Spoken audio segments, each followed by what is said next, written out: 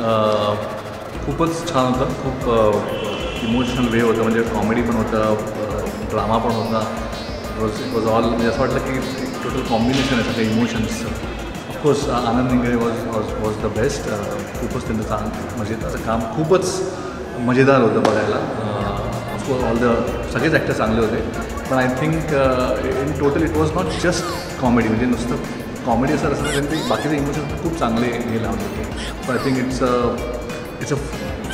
three sixty full entertainment kind of thing thank you